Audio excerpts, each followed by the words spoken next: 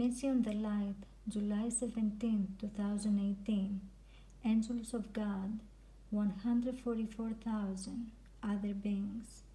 Letter number 10. My friend John, today I will show you new spirit visions, and you will fill to the maximum with divine truths that you must give in turn to all my children. What do you see? I see a very bright blue sky. I am in a place that is pure and holy. I feel this because I see angelic beings everywhere. I see many angels of a different kind. I see angels that they are very tall with white cloaks. I see angels with white wings. Some angels some angel wings are light beige color, but some others light gray, like the color of the sun. Some other angels, their hair is very long, and some others up to their shoulders. I see an altar, and on top of it, many censers that holding incense. All of them are burning divine frankincense. Around the altar, there are columns that hold flowers that they are very tall, but some of them columns are also burning frankincense. That the rich aroma fills the entire place, other columns holding on top beautiful roses. I saw even dark blue roses in them, royal blue, turquoise, light blue, medium blue, and even many shades of gray. They were even black, and in the center, in their center. I saw small petals in crimson color. They were blooming and laying gently on top of the black larger petals of the outer roses. I also saw a corridor. Left and right there were the same columns with roses in them of all colors and shades. The view is breathtaking. The angels didn't stop to replenish them with the frankincense in their censers white clouds of the and the thin um, white clouds of the thin smoke with a divine aroma fills the air. I see a holy crowd. Their hands are crossed on their chest. Their head is bowed down, and I, I feel they are in a deep prayer. They are wearing pure white cloaks with a golden rope like a, like a belt. All of them are barefooted because of the place is holy. They are countless. As far as I can see with my eyes in a distance, and that's how many they are. Smaller angels are flying above the altar, and they are flying above God's holy crowd. The size of those small angels is like the size of the doves. Yet their head is bigger than their bodies and way more wings than those of the doves. Their feet are small and fluffy, and they wearing only either turquoise or pink cloaks. Their hair is either brown or blonde color and curly on their shoulders. As I understand, the duty of the small angels is to fly upon the holy crowd without rest and to spread blessings upon them.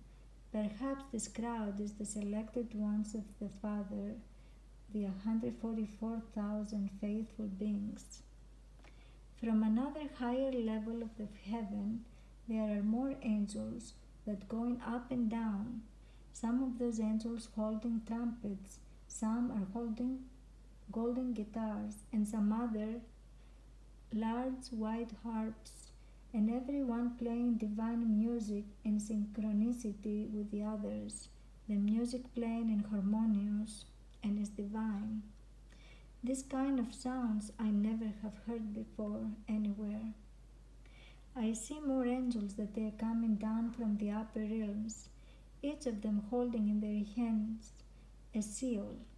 I, John, wondering, what are they going to do with all the seals? Yet I turned my head on the opposite side from the holy crowd, and I saw myriads of myriads of humans. They are on their knees, their hands are bowed down. They were glorifying God the Father. They were humble.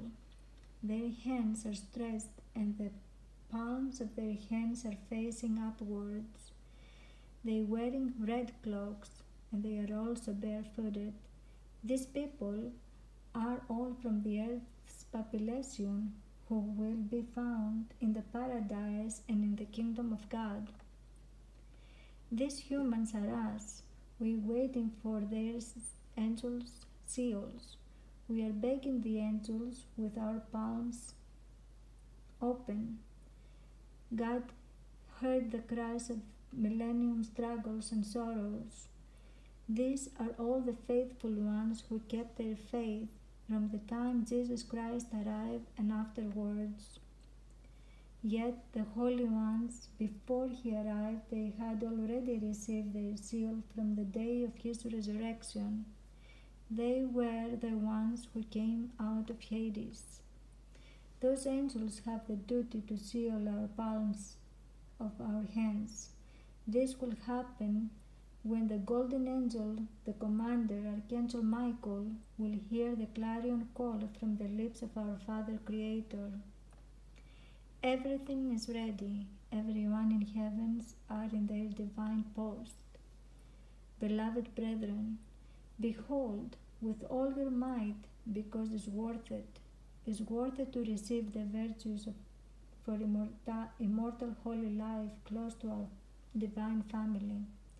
The holy, this holy vision I saw today will be in reality soon, very soon. I hear the Lord saying, These holy things are waiting for you, my children. All these holy moments you will truly live, all of you who will last the, till the end, with deep faith and patience till the end of the disorder, distorted system. All these things will begin soon. All of you who can last with prayers and good deeds of love, compassion, share among you and live with peace and harmony. I am blessing every one of you. Share among you all these new revelations, my children. Jesus Christ. Amen.